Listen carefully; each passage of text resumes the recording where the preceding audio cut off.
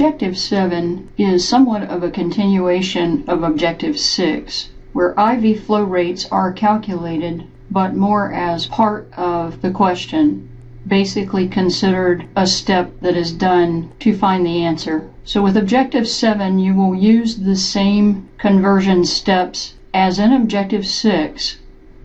In this first Objective 7 question, number 1, you need to infuse a unit of cryoprecipitate to a patient. The label states this contains 60 milliliters of volume. If this is to be infused by gravity over 15 minutes using 20 drop per milliliter tubing, what is the drop per minute flow rate needed for this? If you have viewed the Objective 6 problems, I mentioned two things I will re-emphasize here. The first is everything in the toolbox will be anything associated from the question that has a number related to it. Also, when the question is asking for drop per minute flow rate, you must know the milliliter per hour flow rate combined with the magic number from tubing to solve this question. To answer the question of milliliter per hour flow rate first, we must put this into a ratio and proportion problem. In order to do this, our labels must match. So because we are looking for an hour flow rate, we have to base that on the equivalent of an hour in minutes. This shows the proper setup, which is 60 milliliters to infuse over 15 minutes, solving for X milliliters, 60 minutes, or the equivalent of a milliliter an hour.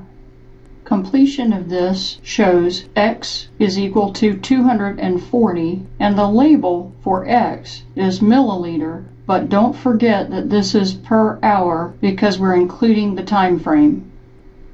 Once we have the milliliter per hour flow rate, we simply combine this by dividing this by the magic number of 3 based on our 20 drop tubing, which results in 80 drops per minute quick verification of the question being asked assures us that we have completed this question. In question 2, a patient is to receive 2 liters of TPN per day. If this is to be infused by IV controller using 10 drops per milliliter tubing, what is the milliliter per hour flow rate?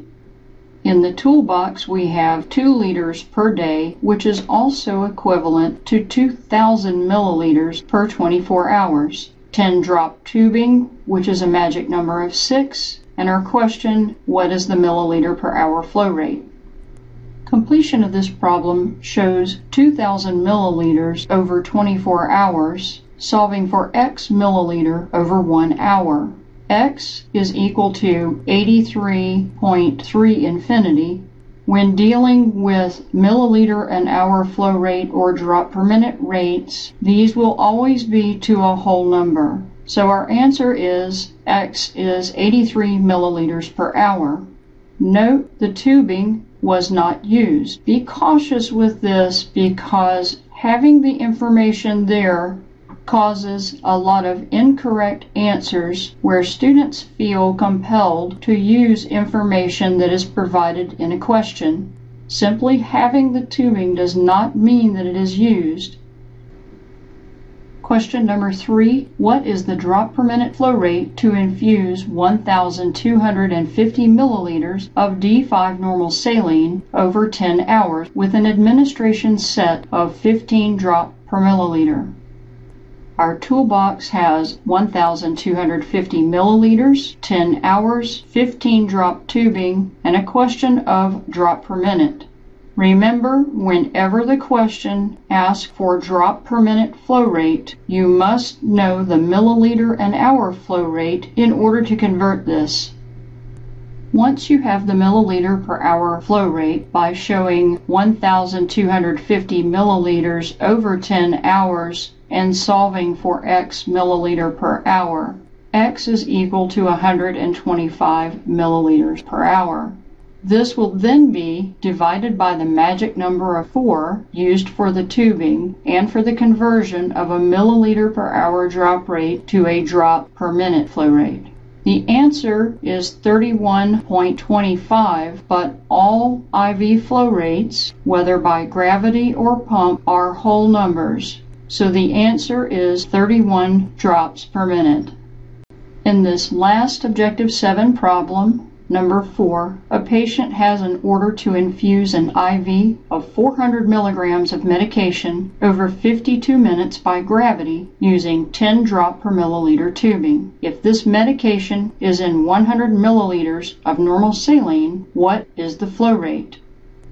In the toolbox, we have 400 milligrams, 52 minutes of infusion time, 10 drop tubing, 100 milliliters of volume, and the question is asking for an IV flow rate. If we refer back to the question, it asks for this to infuse by gravity, meaning our flow rate will be drops per minute.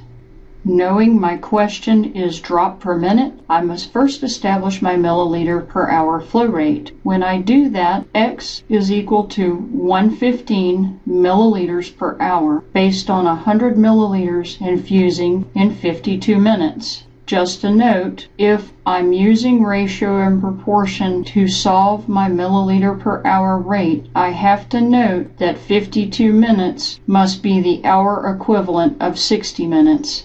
Once I have 115 milliliters per hour, I can then divide that by 6, which is my magic number based on 10 drop tubing for an answer of 19 drops per minute.